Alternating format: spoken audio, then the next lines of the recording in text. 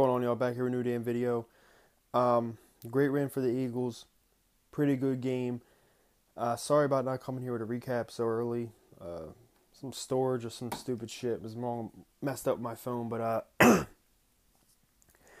defense, defense played a great game in my opinion. They're the ones who won us this game. They kept us in this game, and they sat back and they said, you know, I mean, they got all these picks. They did everything the hell they could. Jordan Hicks, shout out to Jordan Hicks, man. He's a rookie. And when we got him, I was like, ah, I don't like that pick. You know, we just traded Shady for Kiko Alonso, who's a linebacker. We got DeMeco when we got Kendricks. I didn't like the pick when we got it. And then I went back and watched some tape on him. I really liked him. I'll tell you what, though, man, this kid is a monster. He's a beast. He's an animal.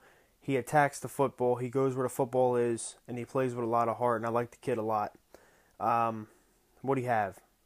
What do you have? Uh, a tip interception, a forced fumble, a fumble recovery, and and he led the team in tackles. That was great. Um, offense, offense was decent, but didn't do what it could. You know what I mean? Uh, I see a lot of people saying bench Bradford, sit Bradford. Bradford didn't play good. I'll tell you that right now. But would I say bench him or sit him? I wouldn't say that. Really, I wouldn't. Uh, if you want to be a, a, good football team, successful football team, you can't just always, every time your quarterback has a bad game, sit him out, put him down. Because every time you do that, that just sets your team back more. You got to ride it out with the quarterback no matter what.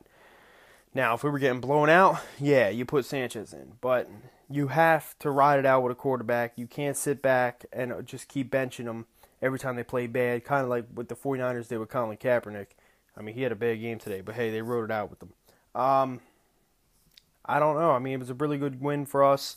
Uh, I think this can be a cornerstone for us to uh, go forward and us to get some, some shit done. But um, we're back in the win column. Like I said, Darren Sproles, he played his fucking heart out. That dude is amazing.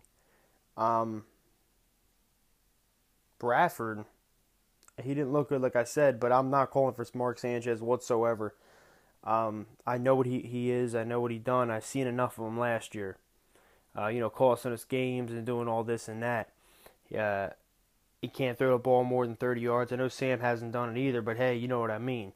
Um, but don't get me wrong, if Sanchez played, I think we would have blew him out even more because I think it would have hit the open receivers, even though he didn't do it last year. But still, that's what it is. Uh, really good game. Ryan Mathews, he played his ass out. Ryan Mathews, man, he showed that Murray is a really good running back. Our offensive line is bad, but you can still get it done if you play the position correctly. He had a great game. I think 100 and something yards, 104 yards, 106 yards. I don't know how many damn yards. He had an amazing game though. Um, he came in, he balled out. Besides the two drops, you know, he had one drop that if he caught it, man, whew, it would have been a, it would have been a 60 yard touchdown. But then he went back and he caught another four touchdown, which was a great pass by Bradford, right on right on the numbers, fade right into his goddamn hands. Uh, so that was a touchdown to him. Sproles had a great game besides that one big drop he had when Bradford threw a dime right on him while he was moving out. I think he was, you know, rolling out and he just dropped it right on him. He dropped and he dropped the pass. Um, still a problem though. We can't convert on third down. Every time it's a third down, I'm holding my breath. We can't complete on third down, and that's probably the only issue. But overall, we won the game. I'm happy as hell. Eric Rowe, rookie, he showed up too with two swats and um, and a pick on uh, Devin Smith, who's a rookie too. I was gonna say, you know what? Don't even play Nolan Carroll no more. Start Eric Rowe. But now I look at him more. He played up against a rookie in Devin Smith. Give the kid a little more time, and then he can be a starting corner for this team. But overall, Good win. Great performance by the defense. Defense did everything they could towards the end too by picking off Matt Ryan. I mean not Matt Ryan. What the hell? Ryan Fitzpatrick. My bad. Picking off Ryan Fitzpatrick. and then, excuse me, our offense couldn't do nothing with it. And it was like, damn, we got to go right back on the field. And we were right back on the field. And defense got another pick from Walter Thurmond. And we sealed up the game. It was a really good win. This could be something that we can build off. Sam Bradford didn't look really good, as I said, but he looked better than he did in the Dallas game, and we can just keep going forward with this this type this type of progress, and maybe could build be a building block, like I said, Let's go Birds. Comment below on your thoughts. How do you feel? All this and that.